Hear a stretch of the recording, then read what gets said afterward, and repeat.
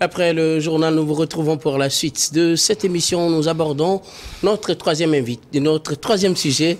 Nous parlons toujours des coups d'État direction le Gabon à présent. Le général Nguema envoie Ali Bongo à la retraite. Euh, le coup d'État intervenu ce mercredi au Gabon continue de susciter des réactions.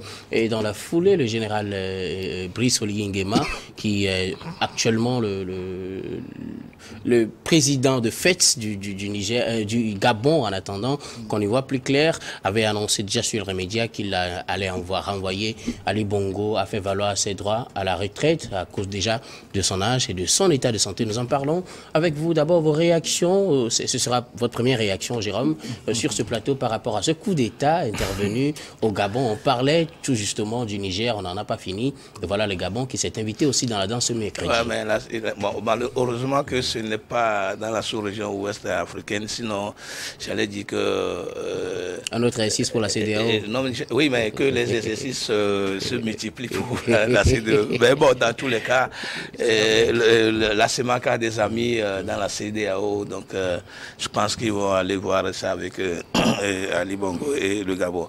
Moi, je, je, me dis toujours, et l'adage le dit, hein, il faut savoir quitter le plat avant que le plat ne, ne vous quitte. Ali Bongo devait quitter le pouvoir depuis 2018 après son AVC et il serait tranquille aujourd'hui. Il ne va pas subir cette humiliation. En tout cas, moi, ça me fait très très très mal qu'une personnalité de, ce, de cette trempe-là euh, a été prise euh, comme ça, comme euh, une mouche enfermée dans une bouteille. Ça ne fait pas quand même du bien pour le, le, le, Gabon. Maintenant, j'ai lu quelque part des gens disait que c'est un coup d'État monté, c'est ainsi, euh, ou que ce n'est pas euh, comparable à d'autres coups d'État. Je me suis posé la question. Je me suis posé la question de savoir s'il y a un coup d'État professionnel et un coup d'État amateur. Un coup d'État, c'est coup d'État. Coup d'État, c'est coup d'État en réalité. Et donc, on ne va pas dire que ce qu'on a fait au Gabon, que ce n'est pas un coup d'État, si on ne va pas faire des comparaisons. Un coup d'État reste toujours un coup d'État. Ali Bongo serait déjà parti rester quelque part, peut-être à Buenos Aires, euh, à la place là-bas, où il va quand même euh, jouir de, hein, de, de, sa vie, vie hein. de, la, de, sa vie, que d'être euh, enfermé quelque part. Et puis, euh, il est revenu dire, demander aux gens de faire du bruit, et qu'il a, qu'il ne sait pas ce qui se passe, qu'on l'a gardé. On dit, quand tu as fait coup d'état, tu dis que je ne sais pas ce qui se passe, que ce n'est pas quand même honorable pour, pour, pour l'Afrique. Et puis, cette histoire-là, euh, à un moment donné, je me suis dit que c'est bien. C'est bien, même si on n'apprécie pas les cours d'État, c'est bien. Si véritablement, euh, on veut quand même garder Ali Bongo au, pouvoir après les résultats, je, sais qu'il va y avoir des, des fusions de sang. Et aujourd'hui, le pays ne sera encore calme les militaires, les mêmes militaires vont tuer euh, la population pour que Ali Bongo garde toujours le pouvoir. Maintenant, quand l'a pris, quand l'a déposé quelque part et qu'on lui garantit tous ses droits, hein, civiques, politiques, etc., oui. parce qu'il est âgé pour aller à la retraite, que tous ces droits sont, c'est déjà bon. Et il n'y a pas de diffusion de ça, il n'y a pas d'exilés, il n'y a pas de handicapés, il n'aura rien. Moi, je crois que c'est le meilleur coup d'État que moi j'ai constaté euh, en Afrique et qui me qui, qui m'a beaucoup plu.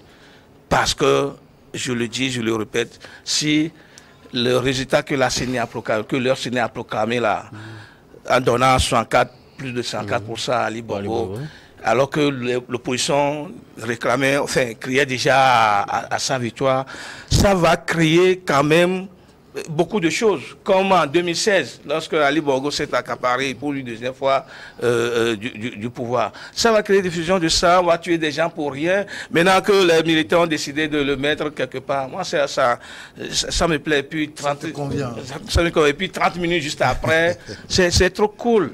C'est trop sincèrement. C'est mieux que... C'est mieux que de tuer des enfants innocents, de tuer des gens innocemment, de, de, de, enfin, des gens vont quitter le pays comme ça. Là, c'est mieux, en tout cas. Je, je, voudrais vous poser une question avant d'aller chez les, euh, recevoir les appréciations des autres. Est-ce que ce coup d'État n'est pas plutôt un coup d'État contre Albert Ondosa Parce que si on est d'accord Oui, que oui, les je élections suis- sont fraudées, je- je suis d'accord. pas Ali, Bongo qui est le vainqueur, c'est plutôt un coup mais, oui, je, suis d'accord. Les militaires eux-mêmes l'ont dit que c'est une élection fraudée. Oui. Cela veut dire que c'est quelqu'un qui a gagné et qu'on veut donner la, la victoire à Ali Bongo. Je suis d'accord. Même pour le moment, pour le moment, c'est mieux de garder Ali Bongo quelque part, comme on l'a fait.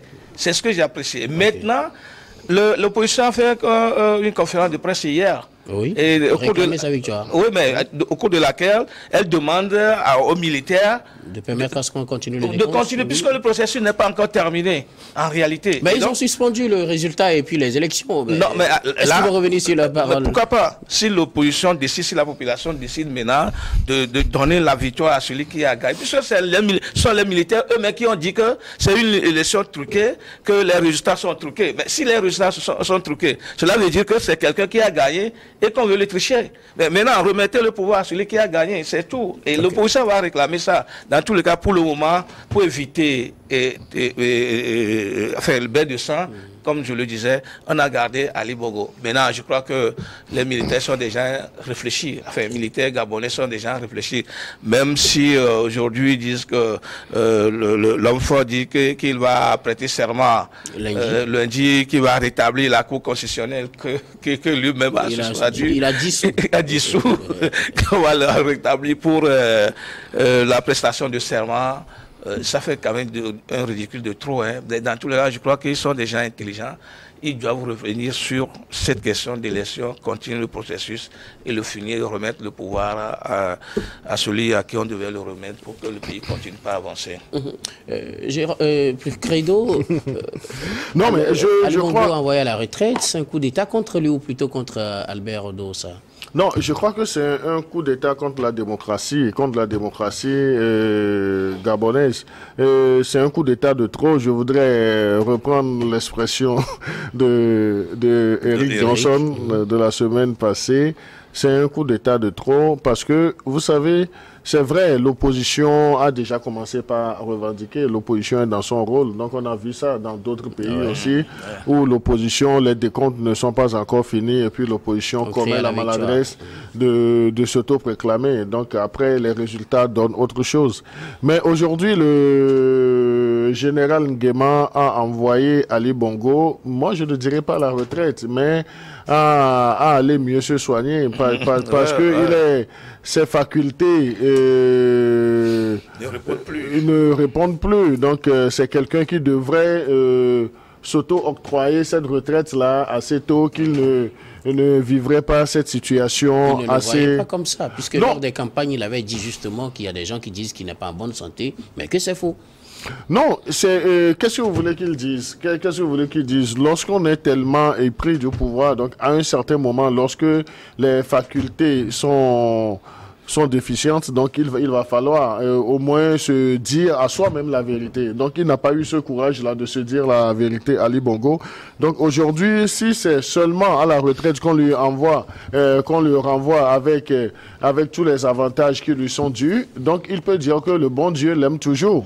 Pas, pas- parce que sous d'autres cieux, des gens vont directement en prison et puis ils répondent devant les tribunaux. C'est vrai que le général qui a fait le coup d'État est un proche, est un des proches de Ali Bongo. Donc euh, il connaît son état de santé, donc il ne voudra pas lui infliger, disons, des mesures assez draconiennes. Mais un coup d'État demeure un coup d'État. Et un coup d'État, euh, lorsqu'on le met dans, dans l'expression d'une démocratie, un coup d'État est toujours négatif négatif parce que ça permet la suspension des activités, ça permet, euh, ça fait, euh, disons, la promotion de la souffrance même des populations à un certain moment. Donc aujourd'hui, euh, nous avons vu, avant même sa prestation de serment, je ne sais pas si vous avez eu l'information, quand il a pris langue avec le patronat gabonais. Oui. Donc il a annoncé des mesures fortes. Donc on a vu même le standing ovation pour, euh, pour le président, mais on ose euh, on ose croire qu'il est venu pour continuer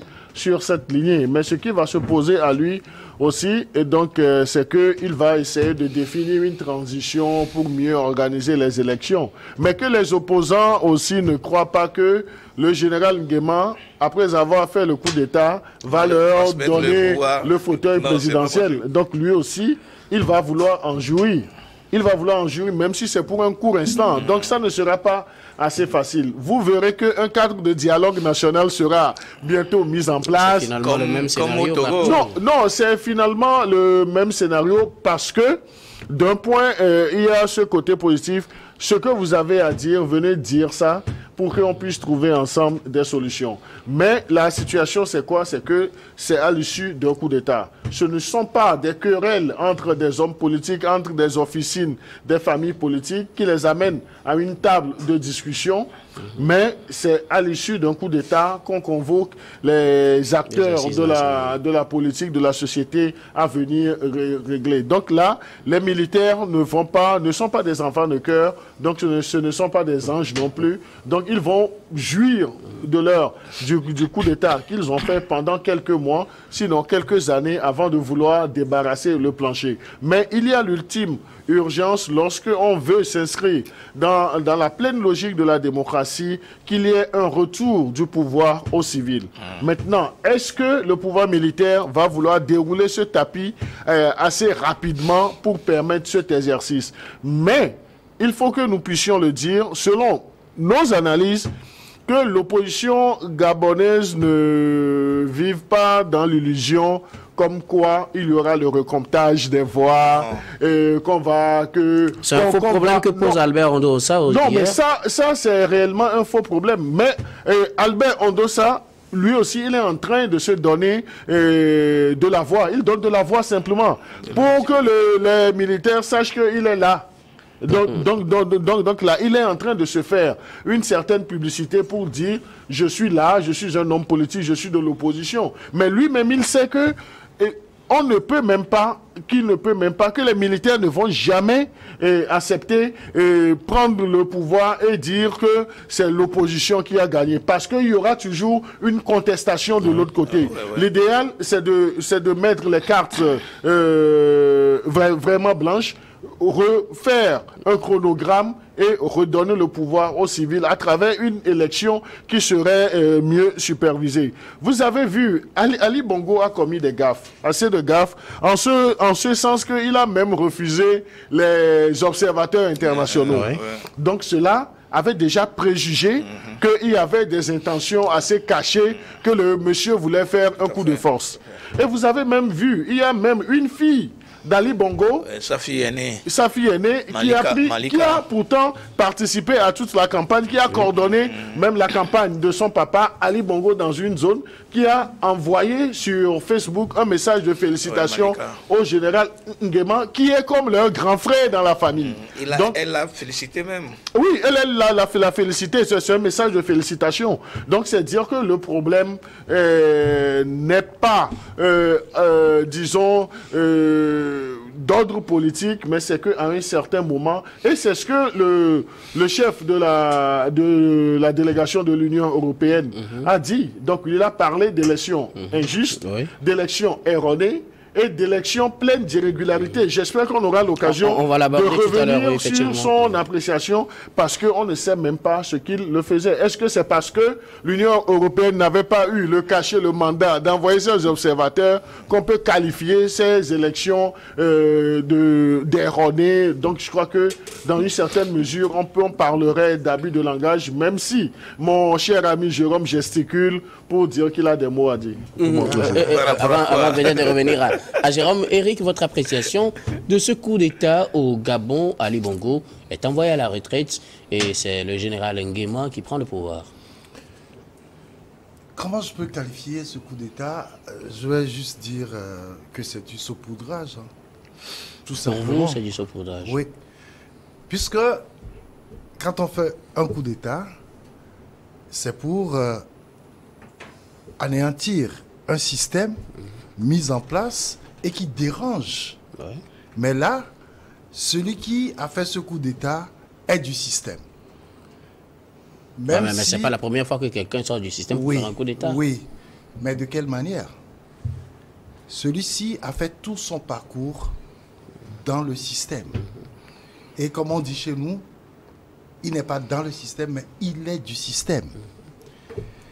Euh, je veux tout simplement dire que aujourd'hui, le système reste intact. personne n'est pour le moment venu d'ailleurs pour s'impliquer Ouais. dans la gestion du pays. C'est quelques jours, hein, c'est vrai que c'est trois jours, c'est- c'est peu pour faire euh, ces appréciations, mais euh, je me dis, ce monsieur, selon les informations que nous avons eues, il aurait euh, des soucis avec euh, le fils de euh, d'Ali Bongo.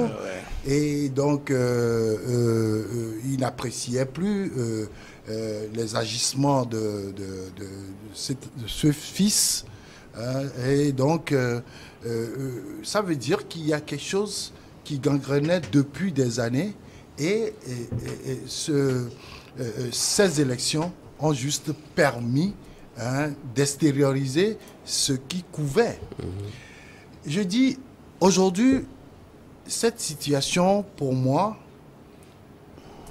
euh, m'a donné euh, une idée. Est-ce que euh, c'est pas que les gens savaient déjà qu'il y aurait un changement à la tête de ce pays? Parce que d'abord, on est parti de la santé d'Ali Bongo.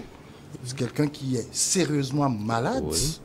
mais qui essayait, comme on dit, euh, comme les militaires disent chez nous, qui bombait la torse pour dire je suis toujours là, regardez, je, euh, je cours, je, je marche, je fais ceci, cela. Mais tout ça Il s'est là. forcé à le faire. Ouais, ouais, c'est- c'est c'est- c'est du forcing qu'il a fait pendant euh, cette campagne électorale. Mais est-ce que les gens ne se préparaient pas déjà à une succession qui n'est pas déjà appréciée au sein même du système Je dis, il fallait faire quelque chose pour dire, bon, voilà, on a fait un coup d'État, mais vous, vous verrez peut-être euh, euh, euh, si le le, général me, dé- me, me dément un jour, avec le temps, vous verrez que le système restera le même. Les gens sont toujours là. Les, les- les- on a dit, on a suspendu les, les institutions de la République et pourtant on dit on veut faire euh, euh, on veut prestation de serment devant la Cour constitutionnelle. La, même Cour qui a été dissoute il y a quelques Et, jours. et la, la- la constitution qui a été suspendue, je ne sais pas s'il y a déjà une nouvelle constitution hein, euh, euh, euh, par laquelle on va prêter serment, parce que la constitution existante définit clairement comment Le mode, oui, on- le mode d'accès de, pas- prestation de service. Mais si on l'a suspendu, c'est que on ne pourra plus utiliser le, même mode de prestation de service, mais de, de serment. De serment. Comment ça va se faire? Autant d'interrogations par rapport à ce qui se passe là. Je vais encore aller un peu loin en disant que le, le- le général hein, en, en question, oui, le général en question sait déjà avec qui il va fonctionner. Puisque quand ça s'est produit, vous avez vu la, la scène euh, hein, de Liès où les, les- les Oui, la militaires euh, hein, le- ont soulevé. Ouais, le euh, oui, c'est vrai que dans ces euh, pays où les régimes durent aussi longtemps, il y a euh, euh, euh, une, partie de la population qui est vraiment fatiguée hein, de, de vivre la même chose. Et donc, on veut avoir de, de nouveaux dirigeants. de nouveaux dirigeants, si tu le dis.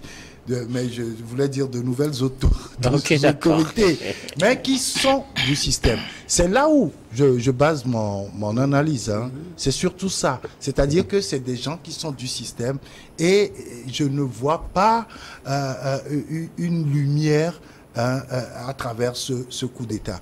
Tout le monde tout le monde, personne n'est d'accord avec un coup d'État. Même Jérôme, qui soutient finalement le coup d'État en disant que finalement c'est une très bonne chose parce que Non, Ali, Bongo de- devrait de- aller à la retraite et tout. Depuis 2018. Mais, mais quand on est euh, euh, chef d'État, euh, même si euh, votre âge atteint l'âge de la retraite, je ne sais pas si c'est plafonné au Gabon, hein, l'âge euh, de euh, euh, pour être candidat à la présidence, si c'est plafonné ou pas, mais vous n'allez pas à la retraite. Et il il- il n'est plus un fonctionnaire d'État depuis très longtemps. Et donc, euh, je crois que fondamentalement, ce système-là ne va pas changer et les Gabonais ont encore beaucoup de temps à, su- à- à- à- à- à subir ce système-là. Mais Guy, moi, moi, je voudrais euh, dire que tout ceci, euh, c'est à cause de nos institutions. Nos institutions. Moi, je crois que euh, lorsque Ali Bongo, d'abord, euh, euh, puisque lorsqu'on va déposer les candidatures, on va euh, à l'hôpital Ouais. pour voir si euh, il peut encore répondre. Et depuis là, je crois que les médecins devaient dire à M. Ali Bongo de se reposer. En réalité, ils n'ont pas pu le faire. Celui qui a validé sa candidature, la Cour constitutionnelle, devait refuser de valider la Ah candidature. ben, si de- tous les documents sont de quel oui, droit il va, ou- ou- il va ou- invalider moi, la je- candidature de... Moi, je, je dis ceci pour faire honneur à Ali Bongo. Oui, mais à, à- à l'instant T, on ne l'apprécierait je, pas je comme ça. dis, je dis qu'il fallait le faire. Qu'il fallait le faire. En réalité, qu'il fallait le faire. Et ça lui ferait honneur. Et ça ferait quand même une belle image pour le, euh, comment le Gabon, en réalité. Maintenant, tout ce qu'on a fait là, tout cette qui, qui se produit actuellement, ça ne fait pas quand même du bien. Maintenant, lorsque la population était dans cette liesse-là, cela veut dire que le système a énormément étouffé Les les populations. populations et que aujourd'hui, la population, même sans savoir ce qui va se passer demain, elle est contente. Cette situation se produit encore, dans- enfin, cette situation est similaire dans d'autres pays africains. Et, et lorsque euh, la tête va changer, les gens seront contents. Je vais me donner ce testament assez, assez simple. Lorsque le général Yadema était, était, était mort en 2005, 2005. on ne peut pas quand même se réjouir de la mort de quelqu'un. Mais vous avez vu Lomé, vous avez vu Togo. Cela veut dire que la dictature a tellement étouffé le- les Togolais que même la mort de quelqu'un ne leur disait plus rien.